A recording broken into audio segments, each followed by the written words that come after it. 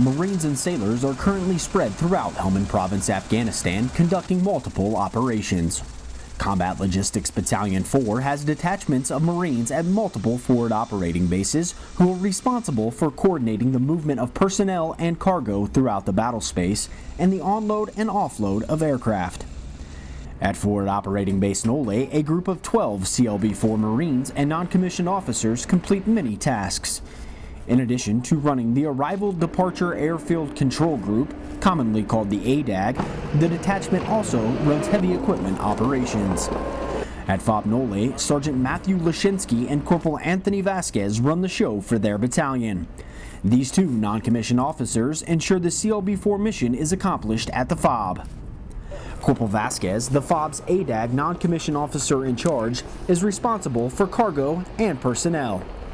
Our mission here is to support 17 and the surrounding units. Uh, we uh, manage the uh, inbound and outbound of uh, all cargo and personnel to the FOB. We also uh, push out cargo to like the smaller PBs with uh, via external lifts. Sergeant Lashinsky, the chief heavy equipment operator and the CLB-4 detachment non-commissioned officer in charge, is responsible for the safe onload and offload of all arriving and departing aircraft.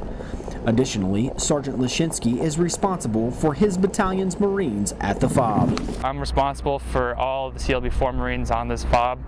Uh, look out for their, their morale, well-being, make sure that they're doing, uh, doing their job at all times and that they're always maintaining professional professionalism on this base.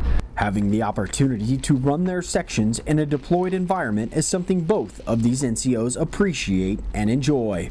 It means a great deal to me. I mean, it just shows me that uh, my staff NCOs, my officers, they're, they're, confident in my ability to run this ADAG uh, by myself and with my junior Marines. I mean, to, to me, being out here all alone without any uh, supervision, it's just one of those things that uh, you know you don't really see every day back, back in the rear. With CLB-4 detachments spread throughout the area of operations, the battalion's Marines and non-commissioned officers work day and night to ensure personnel, gear, and equipment gets to where it is needed throughout the battle space.